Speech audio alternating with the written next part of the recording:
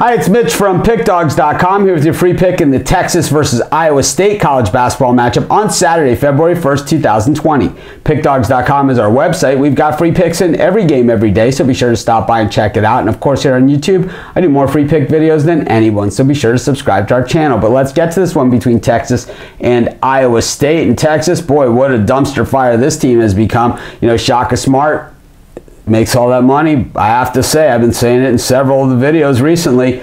I don't think he's been worth that kind of money for Texas, and I don't know how long they're going to be able to sit and watch this happen when you hire all that money. I think you can uh, you can pretty much go a year or two through the process, but after that, you're kind of on your own merit. And I think Shaka Smart's been there long enough that 13 and 7 through 20 isn't going to get it done. I know the Horns are 8 and 3 at home, but just 3 and 8 against the number over that span. 4 and 6 in their last 10 games. That means they're stinking it up in Big 12 play. Meanwhile, Iowa State 3 and 7 in their last 10, so not really getting it done in the Big 12 either, but you know, 9 and 11 straight up. They're 0 and 5 on the road this season and 2 and 3 against the number on the road. But you know what? I think they're in, I think we got some good news for Iowa State here. That they play Texas and at Texas.